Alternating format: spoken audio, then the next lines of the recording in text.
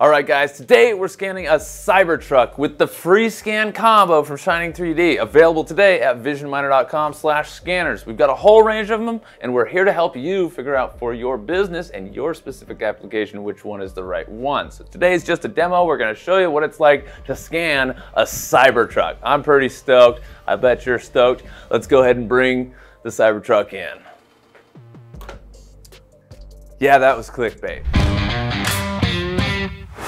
This is a real application for a real thing that we have going on with a client involving a real Cybertruck as well as this scale model. They're designing some stuff for this, which I can't really talk about, that requires the shape and the size and everything for a model, for a scale model. Now maybe you're doing architecture and you want to 3D print it on something like our 22IDEX or our Sinterit actually. This, the SLS 3D printers that we carry, those are amazing for architecture, but you're making a scale model. That's the idea. So we're just going to scan this thing in record time with the FreeScan Combo in laser mode and get all the detail, get the whole shape so that then they can send that to their designer and the designer can make their stuff around it however they want. I am going to first fixture this to my scanning surface, which already has the markers applied to it. I'm gonna make sure it's fixed to the table. I'm just gonna use a little bit of sticky tack. This stuff comes in really handy for 3D scanning because it's just mildly tacky, doesn't leave residue, and keeps your stuff fixed to the area that has the markers on it. So we got that pretty good. It's not gonna move. Yeah, I'll put a third one in there just for just for extra peace of mind. All right, so I've got the software open. I'm just gonna select laser scan mode and we're just gonna do this. We're just gonna go basic. Let's go Cybertruck 01 and let's do half a millimeter resolution. That should be plenty for what they're trying to do. I'm gonna do the one laser line because it looks really cool and it's gonna get it's gonna get it really good. So I'm gonna go auto exposure, one line. I'm just gonna pick up the scanner, throw on that handy dandy little wrist strap and hit the button on the back, let it do its auto exposure thing. That's just gonna get the lighting in the room and the environment and set it to the proper exposure for the cameras to get the best data. And then I'm going to start. So here we go. Ah, that is sweet. I like the single laser line just because it's like, scanning's fun, but it makes it even more fun. Now remember, I gotta have three markers at any given time in view. So I'm on this Lazy Susan and that little area just has one marker. Here, I'm gonna show you the 36, 26 lines. Wow, it's like a freaking Gatling gun all of a sudden. Here we go, and I'm just gonna hold it. And I can basically just move this Lazy Susan around, keep gathering data. It's getting so much data. We're already at uh, about a million points now.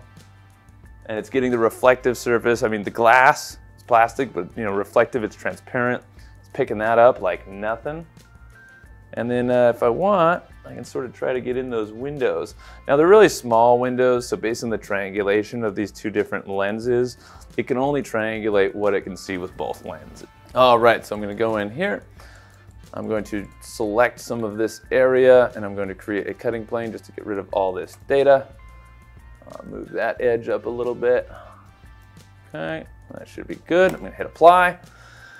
And now I'm gonna go in and select some of the actual Cybertruck because I only really want data that's connected to the Cybertruck along with the wheels and make sure you get part of the wheels on there because I don't think they're actually connected in the scan. All right, got those. And then I'm gonna do connected domain and that's gonna select just all that. Oh, let's actually get inside there. There's the sticky tack that I used, right? So that's kind of cool that it's not getting that. I'm gonna deselect, I'm just gonna delete some of the major data because it wasn't getting the seats in there and I don't really want it to delete that data. I'm gonna go here, I'll just delete the big stuff. The rest of it's gonna get taken care of. All those little artifacts and things will get taken care of during the processing of the point cloud, which we're gonna do here right in a second. I'll just delete most of that because we can handle that optimize, and generate the point clouds. And then we're gonna look at what we actually got before I move the model because it, there might have been some areas in there that I need more data, but we're just gonna flip it over and do the other side and then align those and have a complete model for the designer to then model based off. There we are. That looks great. That looks impressive. I'm actually, it's always cool when you switch modes and then you go into it and you see the final result. So good enough for what we're doing today. We're really looking for the tolerancing around these areas, but I do want to get a little more into that area right there. So we're going to add to this and I'm going to use the single line mode. This is for getting down holes or in small crevices and this should be perfect for that. All right, so here we go. I'm also going to zoom in using the little buttons on the top so that I can see the data that's missing or that I want to get. Let's just get as much of that data as we can.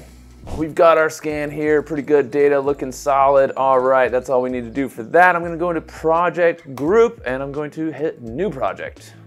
This is gonna create a second scan in the same overall project. And then I'm just gonna go back to scan setting. I'm gonna start on 26 lines for efficiency. Turn on auto exposure, flip her over, and start scanning. All right, here we go. Boom. Like the whole thing scanned in two seconds. Look at that. I can move it around, keep doing stuff. Now, if I want, say I'm scanning more detail, etc., I can always go in here and create a quick cutting plane by selecting some of that. Create the plane, move it up a tiny bit because we already got the whole top of the car. Hit apply, and now it's not gonna scan the whole table, it's just gonna scan the car. And I just pick my scanner back up, and I can pretty much do all of this in like one or two passes. If I really wanna get in there by the tires and everything, I can use the single laser line mode to really get more detail. It looks like it's getting that black trim on the bottom very well. Because most of this is a matte black, but those edges are a shiny reflective black. So they are more difficult in general. I can do different angles. I can also, you know, as I'm moving, I'm sort of changing my angles and getting everything. So the reflections are different and the lighting is different.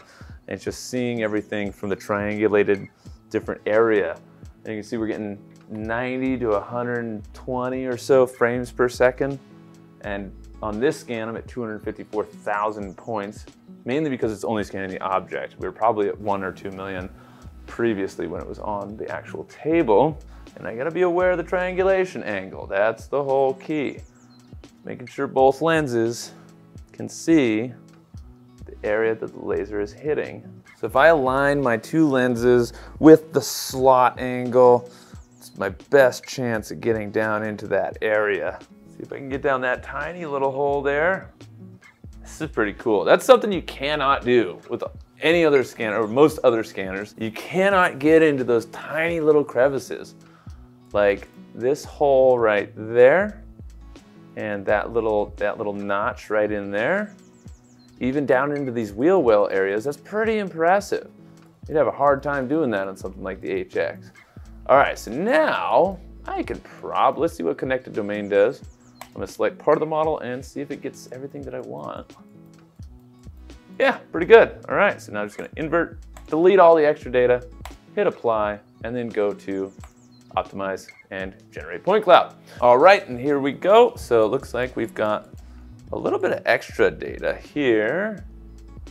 I don't know what's causing that, so I'm just gonna come in here and delete that since I don't want it. We go right here to the align panel, hit project one in the fixed window, project two in the floated window, and automatic feature alignment should work great here. So I'm just gonna hit the button and bada bing, bada boom. We got a complete scan of the Cybertruck. Now the wheels are probably not gonna match up. Yeah, as you can see, because they weren't in the same position when I scanned them. My bad. We're gonna go next. That's gonna lock in the alignment, exit, and now we've got our scan.